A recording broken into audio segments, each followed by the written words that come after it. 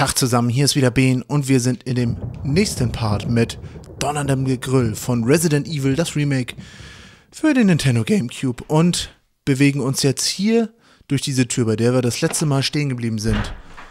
Und mal gucken, wo wir rauskommen. Wir sind mh, mm, bei ein paar Käfern gelandet und scheinbar ist das hier die Küche. Oh, sieht doch richtig lecker hier aus. Scheinbar wird hier gerade das, ja, die Henkersmahlzeit gemacht. Ein Haufen Gewürze, die sie noch nie gesehen haben. Und, ja, was? Ist von der anderen Seite verschlossen? Okay, hier ist eine Tür, durch die kommen wir wohl noch nicht. Aber mal sehen wir, vielleicht liegen hier ein paar Kochutensilien, wie zum Beispiel ein Dolch. Ja, mit so ein paar Dolchen kann man schön diese Stücke Fleisch hier zum Beispiel klein schneiden. Und mh, hm, das sieht doch hier richtig lecker aus. Also wer möchte nicht davon gerne mal was kosten. Ein bisschen Munition liegt hier natürlich auch rum. Ja, es gibt so die schöne crunchige Note in Essen. Ne, wenn man so auf ein bisschen 9mm Blech und Blei rumkaut. Ja, das soll ja ganz lecker sein. So eine crunchige Note geben. okay, wir schauen uns aber an, was wir hier hinten haben. Vielleicht ist ja irgendwo hier der Koch.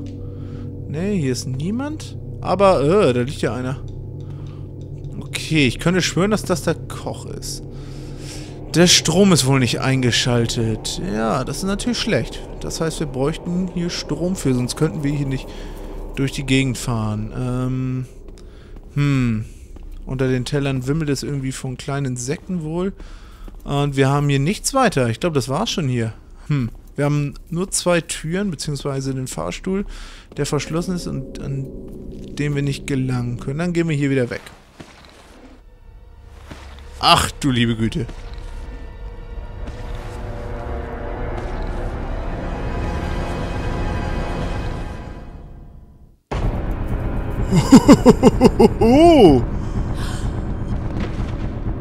Äh, Jill, magst du mal bitte aufstehen?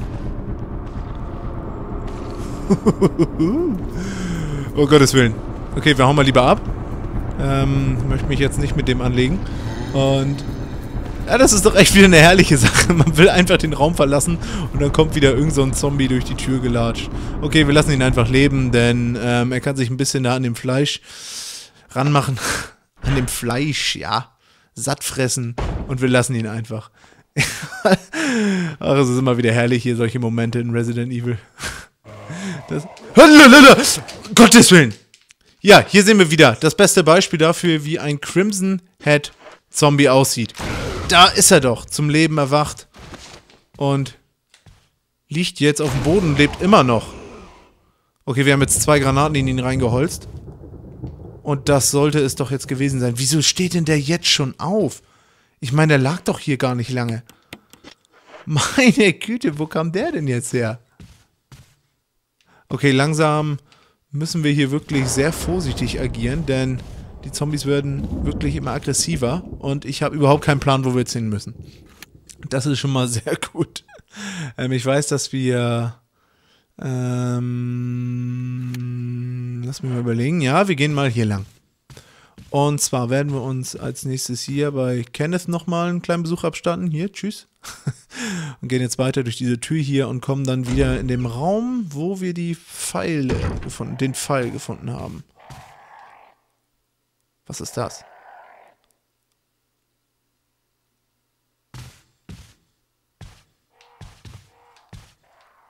Irgendwas stöhnt doch hier. Och nein. Och komm, hör auf. Okay. Ähm, da sind nette Vögel. Hat man gerade gesehen. Ich kann es ja nochmal zeigen. Hier, für alle, die... Da oben links.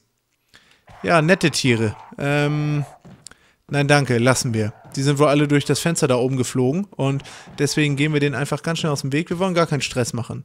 Bloß keine lauten Geräusche wie zum Beispiel Schüsse abfeuern. Wir lassen sie einfach da, weil die können ziemlich nervig sein. Die sind eindeutig in der Überzahl und dementsprechend gehen wir jetzt weiter und wollen die auch nicht weiter behelligen. So, was haben wir jetzt hier? Oh, oh nein, nein, nein, nein, hier. Ja, dieser Zombie ist jetzt auch so weit, dass er wieder aufstehen würde. Oder? Na? Komm. Ähm, Nein, ich lasse ihn einfach liegen. Ich möchte, ich möchte nicht mit dem kämpfen, denn warum sollten wir das tun, wenn wir es nicht müssen? Äh, Aber gut, der ist also auch wieder zum Leben erwacht. Aber wir müssen uns ja hier hinbegeben. Wow, Alter, meine Güte, wo kommen denn die alle her? Das ist ja... Und wir sind so gut wie... Wir sind schon fast tot. Gottes Willen. Nein! Werde ich... Oh, Crimson Heads. Hier, nimm, nimm die Granate. Oh Gott, der lebt ja immer noch. Oder auch nicht. Oh, okay, wir haben die... Wir haben die Phase des Spiels erreicht, die wirklich sehr nervig ist. Oh. Ja, wie man da links sieht jetzt an dieser Nadel, das ist nicht mehr gelb, es ist orange. Und Jill hält sich schon ihrem Bauch. Das heißt, es geht ihr auch nicht mehr dementsprechend gut. Und Oh Gott, jetzt kriege ich langsam, jetzt kriege ich langsam die Panik, dass wir hier wirklich hinter jeder Ecke mit irgendeinem so Viech rechnen müssen. Ich weiß schon gar nicht mehr, in welchen Räumen wir überhaupt die verbrannt haben und wo nicht. Allerdings sollten wir uns wirklich ganz schnell heilen. Und ich werde den Granatenwerfer jetzt mal rauslegen und werde wieder umsteigen auf die Shotgun, aufs Gewehr und wir werden noch eine Runde Kräuter uns genehmigen, wenn wir sie irgendwo haben. Ich meine, wir haben eine Menge Erste-Hilfe-Sprays, aber die möchte ich eigentlich noch nicht benutzen. Erstens versauen sie einem, glaube ich, die Bewertung am Ende des Spiels. Und zweitens, ja, es ist schon ein ganz gutes Item. Und wenn wir die anderen noch haben, die Kräuter, dann nehmen wir die erstmal, bevor wir uns an die heranwagen. Ähm, wir haben noch das Feuerzeug dabei. Ich glaube aber nicht, dass wir das Feuerzeug jetzt irgendwie brauchen werden. Deswegen legen wir es erstmal wieder ab. Und ich muss mir überlegen, brauchen wir noch irgendwas von diesen Gegenständen hier? Wir könnten das Emblem holen, aber das machen wir jetzt noch nicht. Nee, wir werden uns jetzt einfach mal weiter hier rausbegeben und werden jetzt durch diese rote Tür da laufen. Denn ich bin der Meinung, da können wir jetzt durchgehen und kommen dann auch, ja, zu ein paar Räumen, bei dem wir noch nicht waren. Ja, ein neuer Abschnitt des Hauses wird betreten, in dem noch keine Crimson Head Zombies, Crimson's Burning Viecher rumrennen. Und langsam macht sich so ein bisschen Panik bei mir breit. Denn ich habe kein, ich habe keine Lust, wenn Jill irgendwie hier die ganze Zeit angeknabbert wird. Oh. Okay, da war nichts mehr in dem Raum, da war nur das Gewehr. Und wir haben den Rüstungsschlüssel verwendet hierfür. Genau. Ich glaube, so viele Möglichkeiten, diesen Schlüssel zu verwenden, gibt es jetzt auch nicht mehr. Aber was haben wir hier hinter? Eine Batterie hier liegen. Etwas, um uns zu verteidigen. Oh, ich habe ich hab irgendwie Schiss, dass hier irgendwo was lauert.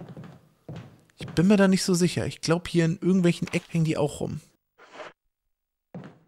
Deswegen. Ja.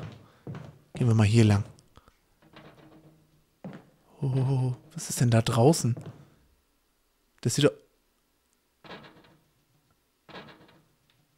Da klopft doch einer an die Scheibe. Das ist doch jemand, der da draußen klopft. Mach ruhig noch mehr Terror hier. Ist hier noch irgendwas? Nee, kein Zombie hier. Hier ist eine Hake. Da könnten wir ja auch ein paar Zombies zusammenschlagen. Aber jetzt sind wir erstmal in diesem Raum hier. Und ich habe keine Ahnung, was in diesem Raum ist. Äh, doch, ich habe eine Ahnung, was in diesem Raum ist. Ja, hier ist... Hier ist etwas, das sieht nicht ganz so toll aus. Ja, es ist ein bisschen... Es ist sehr lebendig und will uns am liebsten gleich totschlagen, wenn wir zu nahe kommen. Ähm, ich sag von vornherein, ja, da dürfen wir nicht so nah rangehen, denn diese Pflanze haut uns tierisch die Löffel um die Ohren. So, der Deckel dieser Wasserpumpe ist offen. Wasserpumpen? Nein, wollen wir nicht. Denn äh, wir brauchen hier ein spezielles Item für. Und dieses Item haben wir sogar schon gesehen. Wir konnten es damals nur nicht mitnehmen, weil wir nicht genügend Platz mehr im Inventar hatten. Und worum es sich dabei handelt, ja, das erzähle ich euch später. Jetzt gehen wir erstmal weiter. Und lassen diesen freundlichen Herrn, der da draußen an die Scheibe klopft oder die Fenster sauber macht, mal in Ruhe. Ist hier jemand? Nee, hier ist nichts. Hm, was haben wir denn hier drin? Kommen wir hier auch in der Sackgasse raus? Ja, das tun wir. Was haben wir hier? Ein Dolch.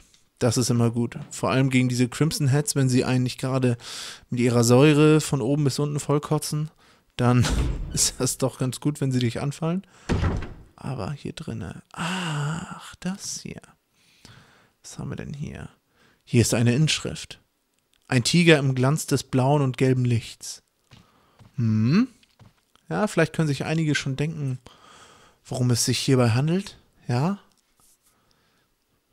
Das blaue Licht besitzen wir jetzt schon. Hm, das ist in unserer Truhe. Das ist nämlich dieser große Edelstein, den wir damals aus dem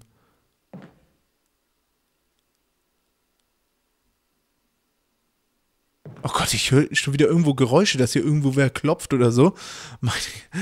Ah. Das ist immer herrlich, wenn so ein Spiel langsam die Dimension erreicht, wo man sich irgendwas einbildet. Und da einer auf dem Boden liegt. Warum liegt er da auf dem Boden? Ach so, er hat einen zu viel gesoffen. Hier liegt überall hochprozentiger Alkohol. Und er hat wohl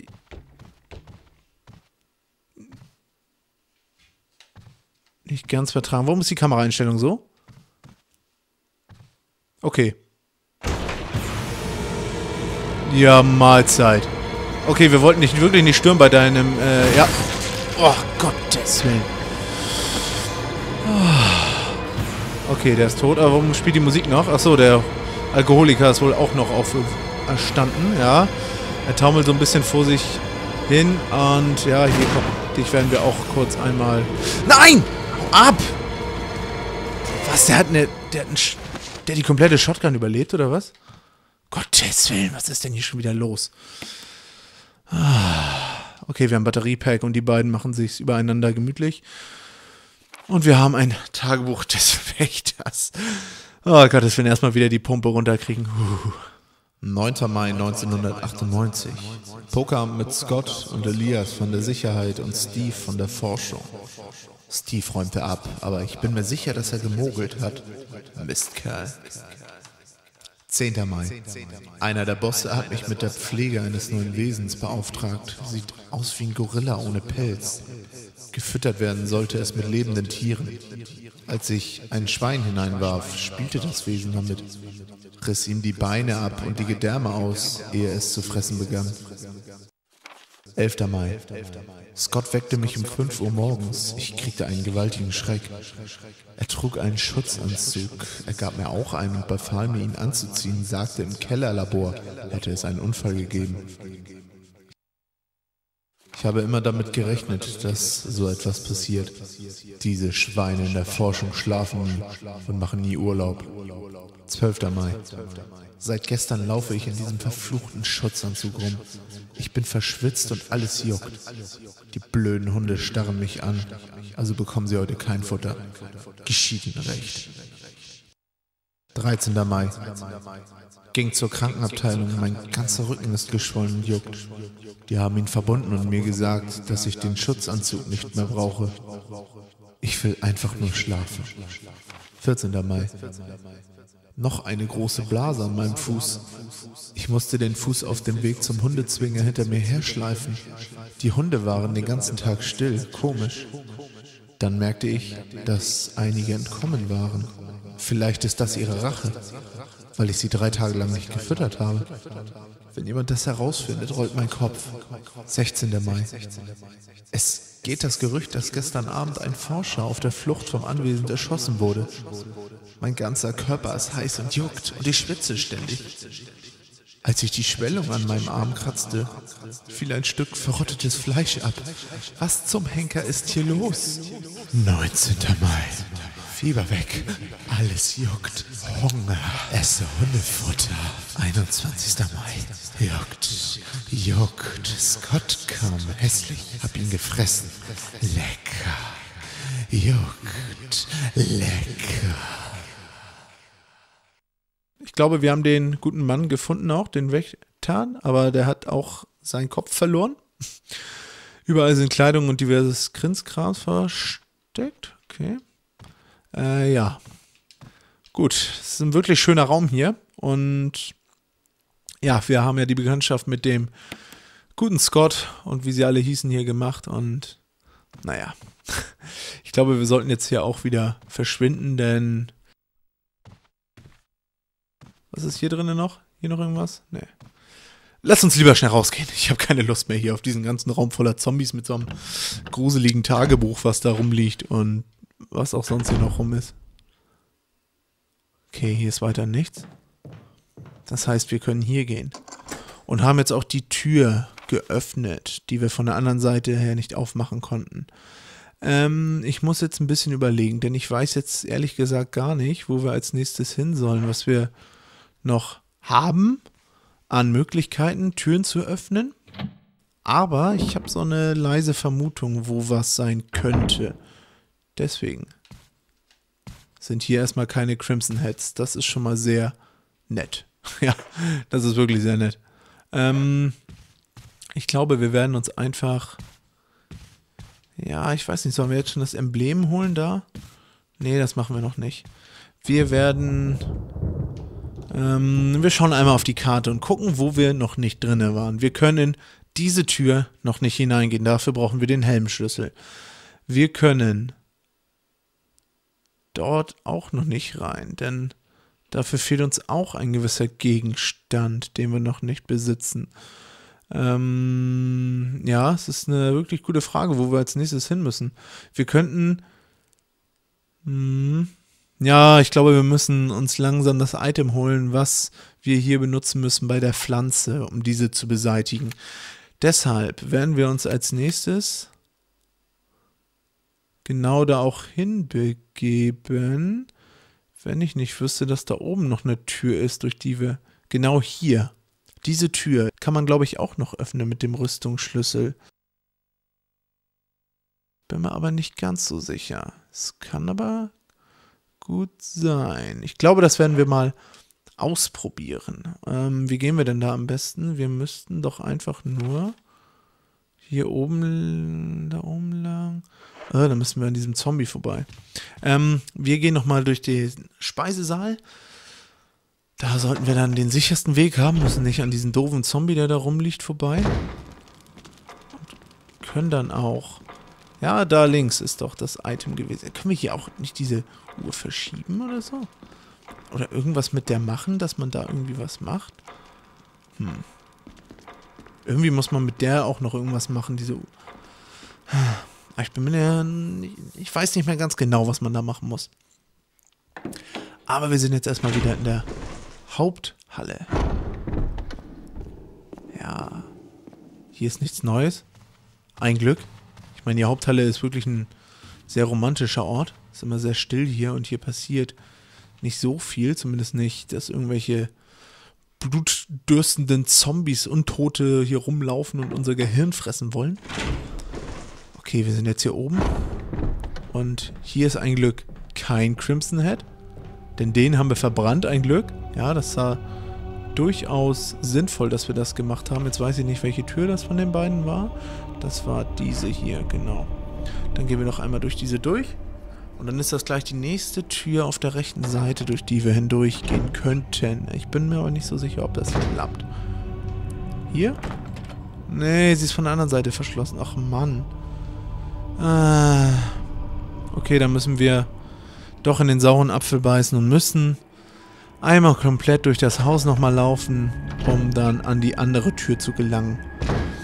Wo das Item liegt, womit wir die Pflanze vernichten können. Ja, lässt sich nicht ändern, da müssen wir jetzt durch. Ich glaube, hier in der Haupthalle werden wir jetzt erstmal wieder einen kleinen Cut machen, denn wir haben in dieser Episode wieder ein paar Zombies vernichtet, die uns einfach so wieder fressen wollten, Frechheit, und werden uns dann in der nächsten Episode die Items holen, die wir noch brauchen, damit wir diese gefährlichen Monster, die hier noch hausen, vernichten können. Dazu brauchen wir unter anderem das...